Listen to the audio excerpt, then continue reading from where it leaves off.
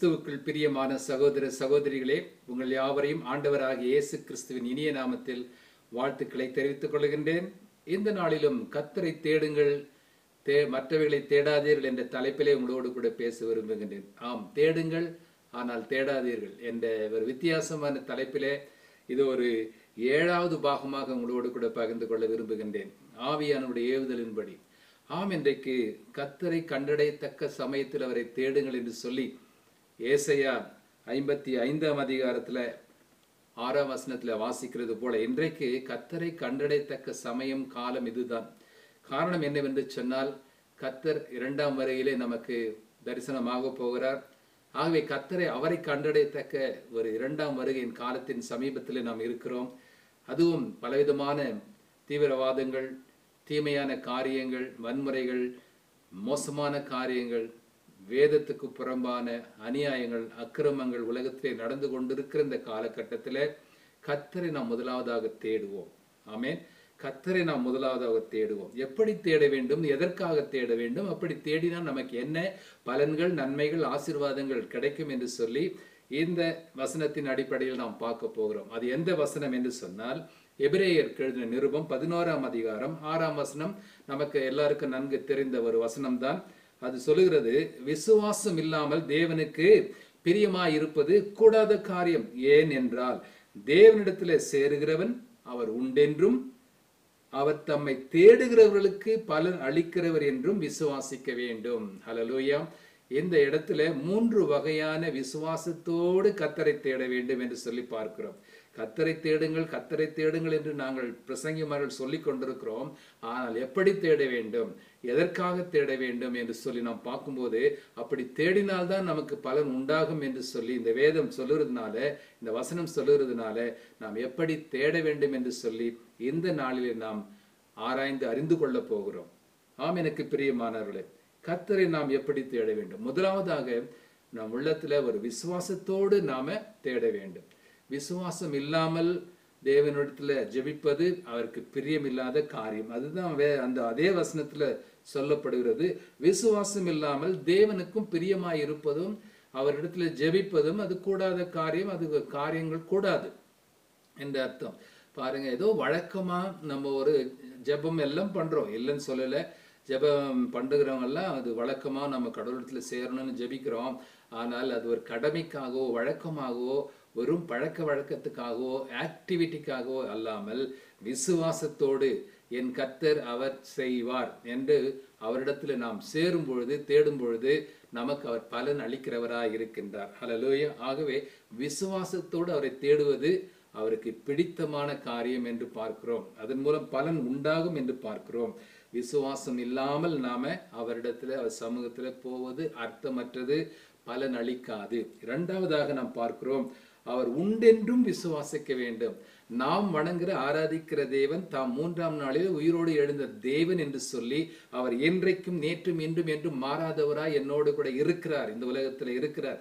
உலகத்தின் முடிவு பரிந்தும் சகல நாட்களில் நான் உங்களோடு கூட இருக்கிறேன். நான் மறித்தேன் ஆனாலும் சதா காலங்கள் உயிரோடு கூட இருக்கிறேன் என்று சொன்ன உண்மையான உயிருள்ள தேவன் நம் ஜெபத்தை கேட்கிறவர் செவிகளை உடையவர் நடக்கிறவர் பேசுகிறவர் நம்மோடு உலாவுகிறவர் அவர் உண்டு. என்று சொல்லி நாம் விசுவாசிக்க வேண்டும். இன்றைக்கு நாத்திகர்கள் என்று சொல்லப்படுவது என்ன நினைக்கிறாங்க? தேவன் இல்லை என்று சொல்றாங்க. அவன் தேவன் இல்லை என்று சொல்லுகிற வார்த்தையிலே தேவன் இருக்கிறார். ஆமேன். ஆகவே தேவன் இல்லை என்பது மதிகேடன் சொல்லுகிறான் என்று சங்கீதத்தில் நாம் வாசிக்கிறோம். ஆம் எனக்கு பிரிய நாளால் நீங்களும் நானும் அப்படி இல்லை. நாம் வணங்குகிற ஆராதிக்கிற தேவன் அவர் மண்ணோடு மண்ணாகி போன மனிதரோ புனிதரோ தலைவரோ அல்ல. அவர் மூன்றாம் நாள் உயிரோடு எழுந்து இன்றைக்கும் நம்மோடு கூட ஆவியாக எப்பொழுது நம்மோடு உலாவுகிற தேவன் நம்முடைய ஜெபங்களை கேட்கிறவர் நம்மோடு நடக்கிறவர் நாம் பேசுவதை கேட்பவர் அவர் அவர் நம்மோடு பேசுபவர். ஹலலூயா அவர் பேசுவார் கேட்பார் நடப்பார் உலாவுவார். நமக்கு எல்லா உதவியும் செய்கிற உயிருள்ள தேவன் உண்டு என்று நாம விசுவாசிக்கும் போது நாம் தேடுவதற்கு ஒரு அர்த்தம் உண்டு பலன் உண்டு. மூன்றாவதாக என்ன சொல்கிறது அதே வசனம் தம்மை தேடுகிறவர்களுக்கு பலன் அளிக்கிறவர் என்றும் விசுவாசிக்க வேண்டும். மறுபடியும் அதே தான் அவர் என்ன சொல்றாருன்னா அந்த வசனம் என்ன சொல்லுகிறதுன்னு சொன்னால் தம்மை தேடுகிறவர்கள் அவரை தேடுகிறவர்களுக்கு நிச்சயம் பலன் உண்டுங்க. இயேசுவை தேடுகிறவருக்கு நன்மை உண்டு ஆசீர்வாதம் உண்டு விடுதலை உண்டு சுகம் உண்டு பதில் உண்டு அற்புதம் உண்டு அதிசயம் உண்டு என்று சொல்லி நாம அவரை தேடுகிற அவருக்கு நமக்கு அந்த விசுவாசம் வேணும். எங்கே நடக்க போகுது? இது கிடைக்குமா? கிடைக்காதா?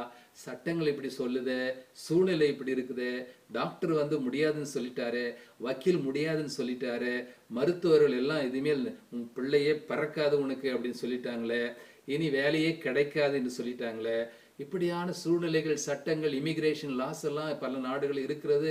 வெளிநாடுகளில் போய் விசா கிடைக்கல கிரீன் கார்டு கிடைக்கல என்று திகைக்கிறோம். ஆனாலும் எல்லாவற்றுக்கும் எல்லாற்றுக்கும் மேலான தேவன் உண்டு. உலகத்தில் இருக்கிறவனின் உங்களிலும் என்னிலும் இருக்கிறவர் உயிரோடு கூட இருக்கிறார். அவர் ஜெபத்தை கேட்கிறார். அவர் நிச்சயமாய் எனக்கு பதில் அளிப்பார். எனக்கு பலன் அளிப்பார் என்று நாம் விசுவாசிக்கும் போதுதான் நம்முடைய ஜெபங்களுக்கு நிச்சயமாய் பலன் உண்டு என்று நாம் பார்க்கிறோம். ஆகவே கத்தரை தேடுகிறவர்களுக்கு பலன் உண்டு. என்னையா பலன் கிடைச்சது என்று சொல்லலாம். ஆனால் கடந்த நாட்களில் நீங்க எத்தனை ஜெபங்கள் ஜெபித்து உங்களுக்கு பலன் உண்டாயிருக்கிறது என்று நீங்கள் நினைத்து பாருங்க. இப்போது இருக்கிற பிரச்சனைகளை போராட்டங்களை வைத்துதான் நாமோ ஐயோ ஒண்ணுமே நடக்கலையே ஐயோ வருங்காலத்துல என்ன நடக்குமோ என்று வருங்காலத்தை குறித்தும் நிகழ்காலத்தை குறித்தும் தான் பயப்படுகிறோம். நாம் திகைக்கிறோம் என்ன நடக்கும் எப்படி நடக்கும் இந்த கொரோனா வைரஸினுடைய அஹ், எதிர்பாராத சூழ்நிலைகள் பயங்கரமான சேதங்கள் சோர்வுகள் பலவீனங்கள் எல்லாவற்றிலும் பற்றாக்குறைகள் வேலையில்லா திண்டாட்டங்கள் ஏற்பட்டு விடுதே வேலையில்லா திண்டாட்டங்கள்னு சொல்லி கலங்குகிறோம். அதே நேரத்துல கர்த்தர் கடந்த நாட்களில் எவ்வளவாய் நம்முடைய ஜெபங்களை கேட்டிருக்கிறார் பலன் அளித்திருக்கிறார் ஆசீர்வாதங்களை நன்மைகளை கொடுத்திருக்கிறார் என்பதையும் நாம் நினைத்து பார்த்து இந்த தேவன் என்றென்றைக்கும் உள்ள சதா காலம் என்னுடைய தேவன் உங்களுடைய தேவன் நம்முடைய தேவன் மரண பரியந்தம் அவர் நம்மை நடத்துவார். அவர் என்னை பாதுகாப்பார் எனக்கு பலன் அளிப்பார் எனக்கு ஆசீர்வாதம் தருவார் என்னை உயர்த்துவார் என்று சொல்லி நாம் விசுவாசிக்கும் போது அவர் நமக்கு பலன்களை அளிக்கிற தேவனாக இருக்கிறார் ஆகவே அவரை தேடுகிறவர்களுக்கு உண்மையாய் தேடுகிறவர்களுக்கு பலன் அளிக்கிற தேவன் உங்களுக்கும் அந்த பலனை சீக்கிரமாய் தருவார். ஆக உண்மையாய் அவரை தேடுங்கள். முதலாவதாக அவரை தேடுங்கள்.